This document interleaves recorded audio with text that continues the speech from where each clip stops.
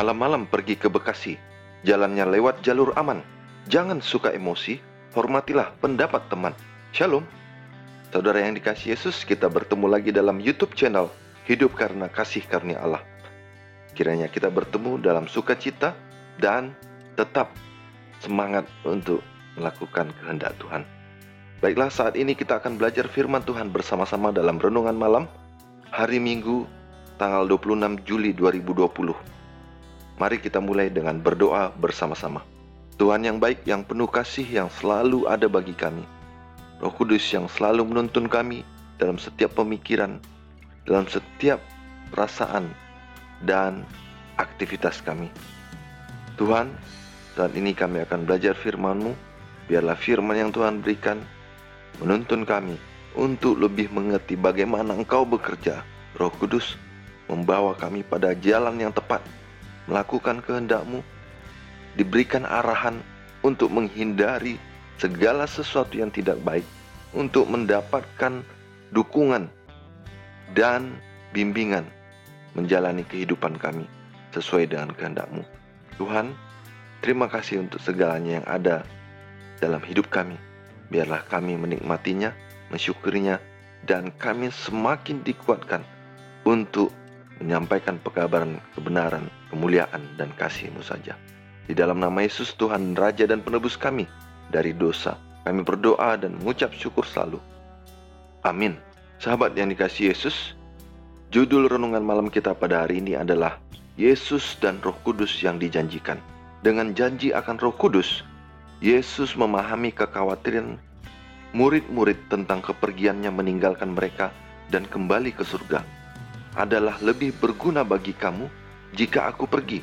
Sebab jikalau aku tidak pergi, penghibur itu tidak akan datang kepadamu. Tetapi jikalau aku pergi, aku akan mengutus dia, tertulis dalam Yohanes 16 ayat 7. Kata Yunani untuk penolong adalah parakletos.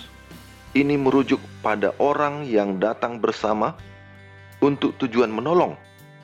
Salah satu fungsi utama Roh Kudus adalah untuk berdampingan dengan semua orang percaya, memberi kuasa, dan membimbing mereka dalam kegiatan kesaksian mereka.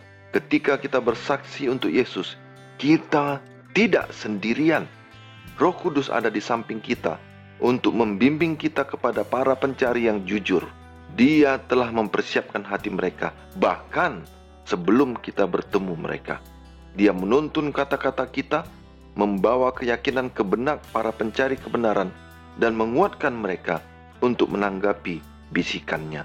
Sahabat dalam Yesus, bacalah Yohanes 15 ayat 26 dan 27 dan Yohanes 16 ayat 8. Firman Tuhan dalam Yohanes 15 ayat 26 dan 27, Jikalau penghibur yang akan kuutus dari Bapa datang, yaitu roh kebenaran yang keluar dari Bapa. Ia akan bersaksi tentang aku. Tetapi kamu juga harus bersaksi karena kamu dari semula bersama-sama dengan aku. Yohanes 16 ayat 8 Dan kalau ia datang, ia akan menginsafkan dunia akan dosa, kebenaran, dan penghakiman. Dari kedua ayat di atas, apakah yang dikatakan ayat-ayat ini tentang peran Roh Kudus dalam bersaksi? Roh Kudus menyaksikan atau bersaksi tentang Yesus. Tujuan utamanya adalah untuk memimpin sebanyak mungkin orang kepada Yesus. Misinya adalah untuk memuliakan Yesus. Dalam peran ini, dia meyakinkan semua orang percaya atas tanggung jawab mereka untuk bersaksi. Dia membuka mata kita untuk melihat kemungkinan pada orang-orang di sekitar kita dan bekerja di belakang layar untuk menciptakan penerimaan terhadap pekabaran Injil. Injil Yohanes menyatakannya dengan jelas. Dia akan menginsafkan dunia akan dosa. Tertulis dalam Yohanes 16 ayat 8. Dengan kata lain, dia bergerak di dalam hati untuk membawa rasa yang semakin mendalam akan keterasingan yang berasal dari kebenaran, yang berasal dari Allah, dan kebutuhan akan pertobatan. Dia juga menginsafkan dunia akan kebenaran. Roh Kudus tidak hanya menyatakan dosa, Dia mengajar kita dalam kebenaran. Dia mengungkapkan keindahan kebenaran Yesus berbeda dengan kenajisan kita sendiri. Peran Roh Kudus bukan hanya untuk menunjukkan betapa buruknya kita, tetapi juga untuk mengungkapkan betapa baik, betapa murah hati, betapa berbelas kasihan, dan betapa penuh kasihnya Yesus, dan untuk membentuk kita menjadi serupa dengan gambarnya. Bersaksi sederhananya adalah bekerja sama dengan Roh Kudus untuk memuliakan Yesus dalam roh kuasa, dalam kuasa roh dan di bawah bimbingannya. Kita bersaksi tentang Kristus yang mengagumkan yang telah mengubah hidup kita. Dalam kerinduan kita untuk bekerja bagi jiwa-jiwa, mengapakah kita harus selalu ingat bahwa kita tidak dapat menobatkan orang, tetapi hanya Roh Kudus yang dapat melakukannya. Saudara, pertanyaan di atas bisa kita renungkan dengan mendengarkan pandangan ini bahwa misi yang terutama adalah pekerjaan Allah. Kita bekerja sama dengan Dia dalam bersaksi kepada orang yang terhilang saat kita menyatukan diri kita dengan kuasa Roh Kudus. Tanpa kuasa dan tuntunan Roh Kudus, kesaksian kita tidak berkuasa. Mungkin kita dapat meyakinkan seseorang tentang kebenaran Alkitab tertentu, namun tanpa pekerjaan Roh Kudus dalam kehidupan mereka, hanya sedikit perubahan yang terjadi. Mereka dapat mengubah keyakinan mereka, namun tidak dapat mengubah hati mereka. Akan ada penyesuaian secara luar kepada kebenaran, namun tidak akan ada transformasi perubahan, namun tidak akan ada transformasi perubahan kehidupan menjadi serupa dengan Kristus yang hanya dapat dikerjakan oleh Roh Kudus dalam pelajaran pekan ini, kita akan mempelajari peran Roh Kudus dalam bersaksi dan kuasanya untuk mengubah kehidupan kita. Pelajaran kita akan menganalisis beberapa contoh dalam buku kisah para rasul yang menyatakan pekerjaan Roh Kudus yang luar biasa dalam kehidupan mereka yang belum percaya.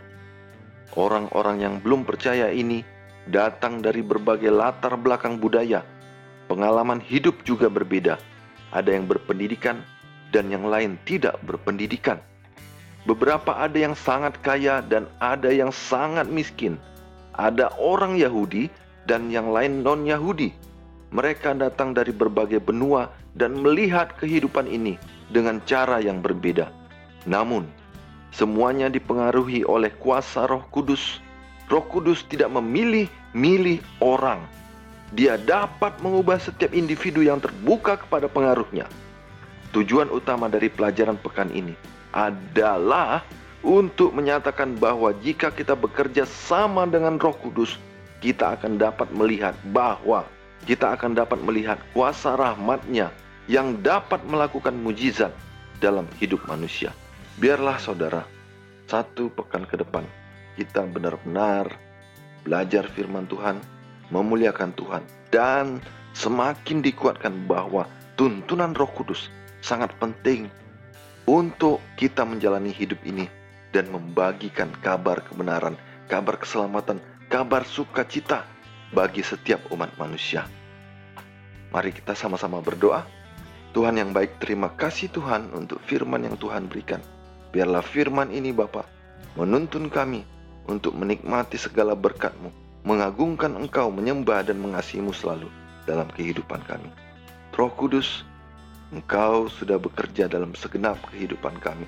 Mulai kami lahir sampai saat ini tuntunanmu, arahanmu bekerja selalu untuk setiap umat, baik yang mengenal Engkau maupun kami yang sudah mengenal Engkau, yang sudah bertobat dan memberi diri untuk menjadi anak-anak yang Kau kasihi. Ya Tuhan, biarlah segala yang kami lakukan. Semakin hari, setiap waktu adalah hanya karena tuntunanmu saja roh kudus. Sehingga kami melakukan kehendakmu dengan sepenuh hati, dengan tulus, dan untuk keagunganmu saja. Inilah doa dan permohonan kami Tuhan, di dalam namamu, Tuhan Yesus, Allah, Raja, dan penebus dosa kami, yang menyelamatkan kami. Kami berdoa dan mengucap syukur selalu. Amin. Demikian renungan malam kita pada hari ini. Biarlah kita dikuatkan dan memuliakan Tuhan dalam tuntunan Roh Kudus. Sampai ketemu besok pagi dalam renungan pagi. Beli sate di Jalan Cempaka. Satenya enak khas Madura. hormatilah dan berhati mulia dengan dia teman kita. Sampai jumpa. Horas!